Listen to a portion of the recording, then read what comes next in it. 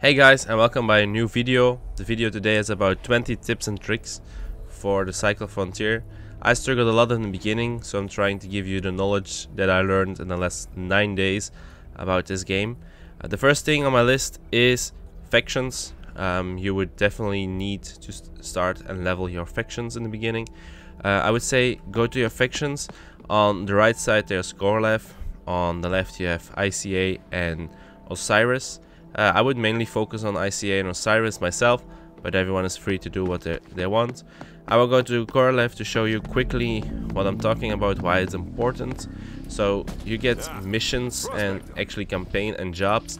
The campaign and jobs give you XP, Korolev scripts and crypto marks, so money. It's the easiest way to make money and to have a purpose in the game away from PvP. So I would highly recommend doing this because you need the XP and levels to get to be able to buy better weapons later on. You can also craft some weapons but mainly you get it from reaching some faction level. So I would highly say in the beginning focus on your factions, do your missions and use it as your guideline through the game. For the second one, we're located for a moment over here because I want to show you where your quarters is. It's down here. The quarters is actually your hideout and why it's important is actually this PC over here. The quarter upgrades, it's actually an improvement of quality of life uh, in my instance.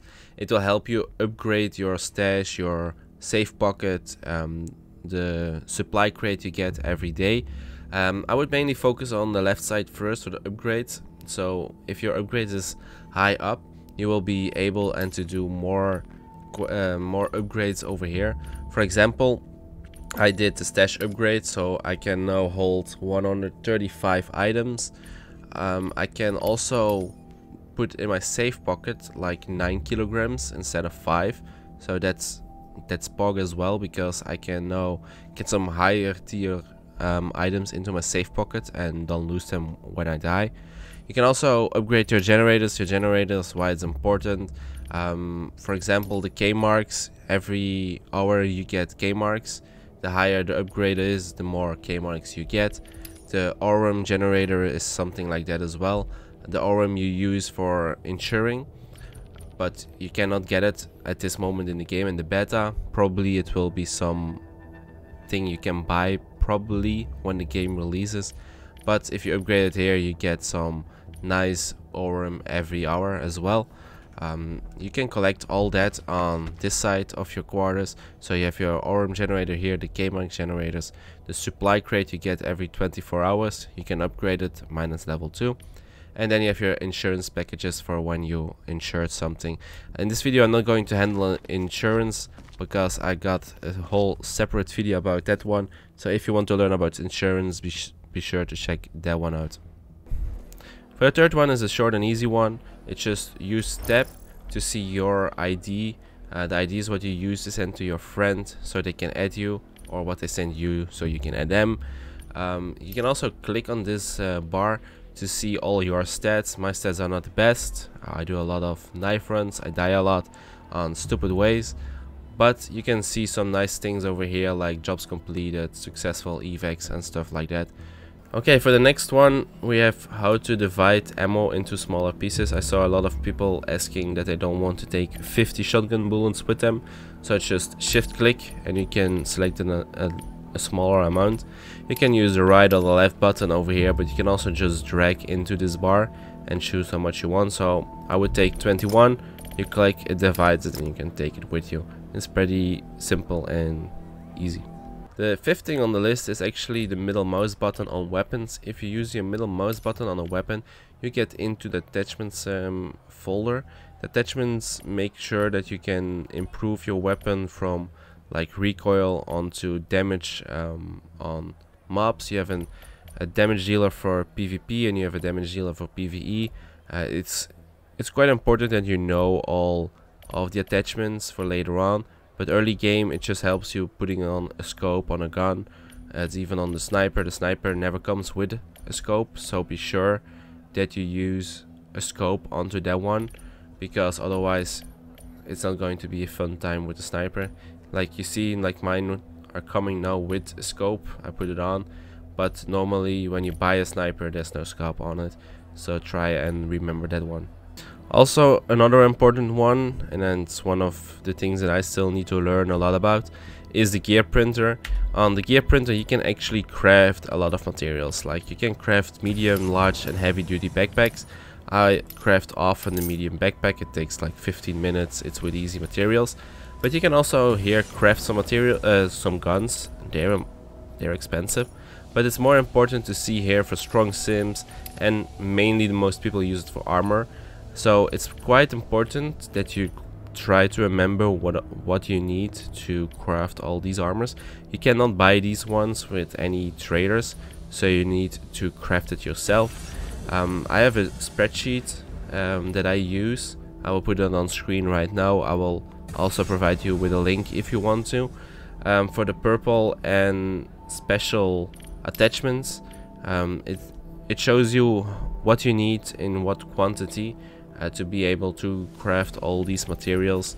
Um, it's pretty important that you try and remember because some of these converters and stuff like that are very powerful and will definitely help you improve your gameplay early on but also later on uh, while you try and doing your missions, your PvP and stuff like that. So it's very very important that you try and learn this print cycle, what you need, how much you need of it, um, and where to find it eventually. Also, you have to tap here, repair. If your armor is broken after a raid, you can repair it here for a small price. It's also definitely worth it to do it because if your armor is already half broken, you will go into the next raid. You will probably lose your next fight just because of your armor that's almost already broken. So I would definitely be sure to repair everything you have. Next on the list is learn the map. And what do I mean with learn the map is understand what kind of zones in the map are like high danger, where are a lot of mobs, where can a lot of people be, because a lot of people need to be somewhere for a quest or they go after the high tier loot. So try to understand where those areas are on the map and also try to understand where you can find certain items and quests because otherwise you're just going to run around and around and not finding the items you need and just going to be behind and behind. So try to know where the items are, the quests are in advance before going in. Um, you can find a lot of the things that you need like quest item stuff on my channel. I do a lot of guides for them so if you ever stuck on them try and watch one of my other guides for them. Um, it's pretty important that you know where to be so when you spawn in you know oh I have to go there or there so you have some plans in your head where to go. This is only for if you're doing the quest. If you want to do PvP, you just run after every gunshot you hear. But I think it's pretty important that you try and know in advance where you have to be on the map and what is your game plan for that raid. Number 8 is a big one guys, it's stamina. So if you start to run you see the stamina bar uh, popping up and depleting. It's pretty important that you understand how this works and why it's important um, because if you run out of stamina while running from any striders or rattlers, even marauders, it will fuck you up. Like the amount of times that I died in the beginning just because my stamina was fucked, uh, it's like definitely 30 or 40 times, man. So I would suggest try to learn how to use your stamina, uh, what depletes it. Like if you jump, it depletes it. Depletes it. Uh, if you run with your gun, it goes faster to deplete depletion and you run slower than when you run with your knife. So if you run with your knife, you can do way longer with your stamina than when you're running with your gun. And also, if you try to regen, like let's see with my gun, it goes not that fast. Oh yeah, I'm standing still. But if you're standing still, it goes very fast. But if you're running and then walking with your gun, goes still slowly. If you take your knife it goes way fast. It looks, it depletes way less.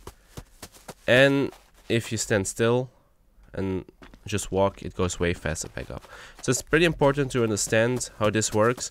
So try and and keep your stamina at an at a good level, so you know when there's like a danger area ahead, just regen and start running again to avoid some of the monsters. Try to run from the monsters. Um, but just keep in mind, your stamina is very important.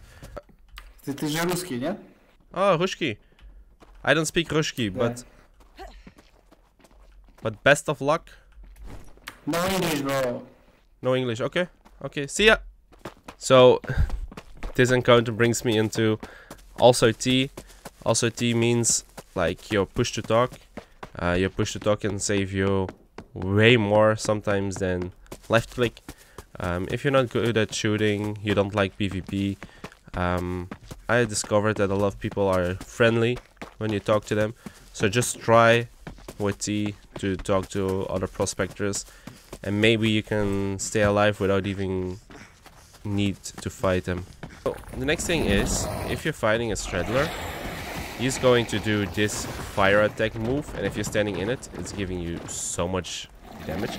So it's pretty easy to dodge, like you try, you let him do the animation and then you shoot him. Like if you shoot him in his face, it does the most damage. So that's the easiest way to kill him. So when fighting striders like this, the red ones, they're pretty easy. You can just charge your knife attack and just one-shot them at once. So I would definitely recommend just doing it with your knife. It's pretty easy. It doesn't make too much sound, so you don't attract any enemies. So the red strider, striders you can easily one-shot with your knife. The white ones, they're the mean bastards. So be careful for them. You cannot one-shot knife them. So if a strider is uh, hunting you, like this one, um, or a white one, striders cannot climb. So if you go up a few ledges, they're not able to follow you when they back off. So sometimes parkour parkour can save your life when being chased by a lot of like creatures. One of the most important things in this game is just turning up your head headphones volume like on maximum. You need to be able to hear what's happening in this game. Like everything gives you a clue. Like this ship you can hear it like you know someone is going to evac and you go you know where it is going to be it's also giving you an indication when there's mobs around it also gives you an indication when people are around you know where the shots are coming from if they're farther in the distance and you can choose if you want to go there or you want to back off it also if people run too much it gives you an indication of where they are because they start to breathe very heavily. So everything in this game gives you an indication of danger of, of what is happening around in the map. So definitely try to play with the audio cues because it's one of the most important things there is in this game.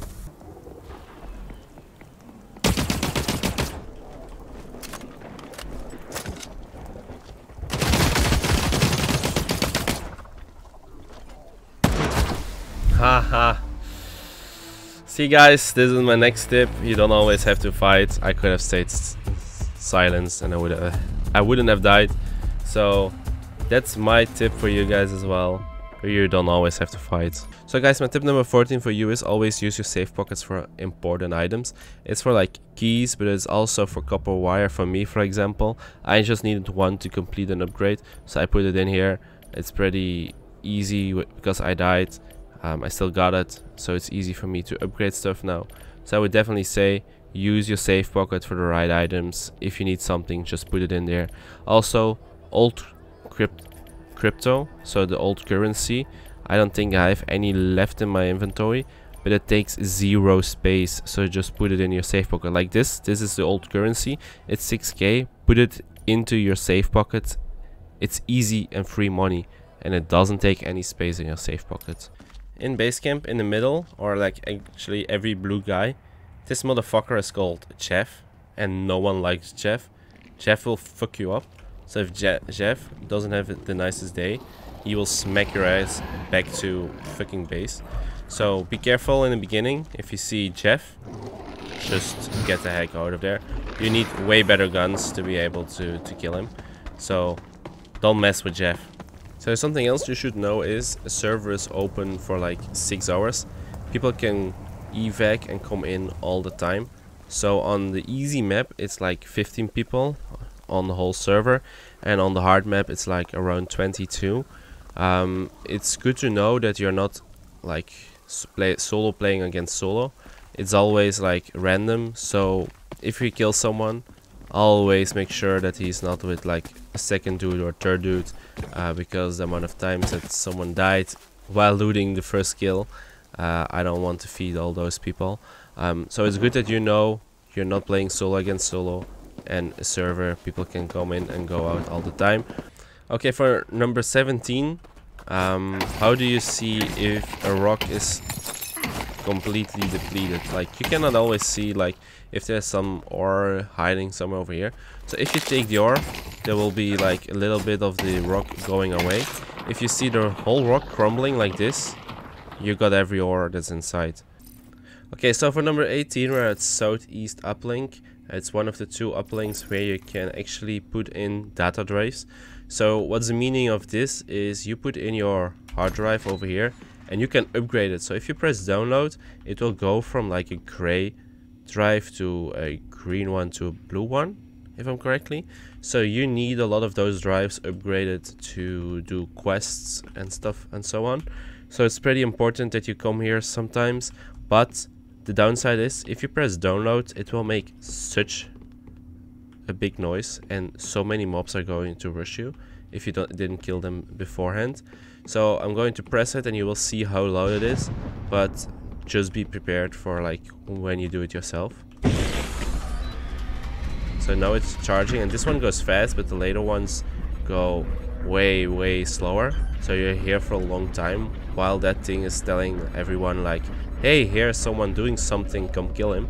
So be careful, um, you need to do this, but yeah, it's just so you're prepared.